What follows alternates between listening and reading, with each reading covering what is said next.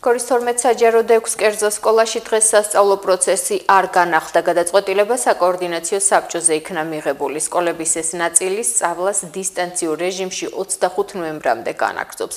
მოსწავლეთა ჩართულობას კი საგაკვეთილო პროცესში თავად საგანმანათლებლო დაწესებულებები აღრიცხავენ.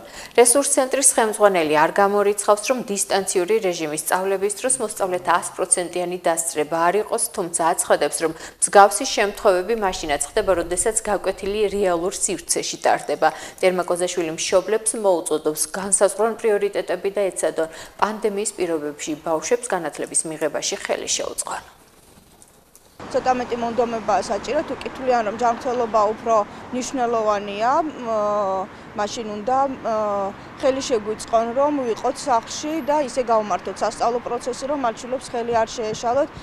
ბუდის ვიხდი ყველა იმ ადამიანთან და ყველა იმ ოჯახთან, ვისთვისაც ხელმისაწვდომი არ არის და უშუალოდ ტექნიკა, ან ინტერნეტი, ან ასე შემდეგ, მაგრამ ცოტა პრიორიტეტების დალაგების თემაც არის მე თუ მკითხავთ რა ვისთვის რა არის პრიორიტეტი და მეც ჩაულებრივი საშუალო სტატისტიკური გორელის ოჯახი მაქვს ასე ვთქვათ მეც ორი შვილი მყავს ოჯახში და ორივე დისტანციურად სწავლობს და გატეხილი ეკრანითაც ჩართულა ჩემი შვილი თიმსის გაკვეთილებში და რა ვიცი სხვა პრობლემას მქონია ასე რომ პრიორიტეტების ამბავია რა, რას ანიჭებ უპირატესობას ადამიანი, რას მოიკლებ და რას არ მოაკლებს შულს.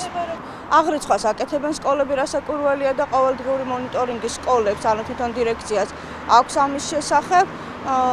დასწრება, მოდი ასე ვთქვათ, პირისპირ სწავლების დროსაც შეიძლება არ იყოს 100% და 100-ია ელექტრონულად დისტანციურად სწავლის დროსაც.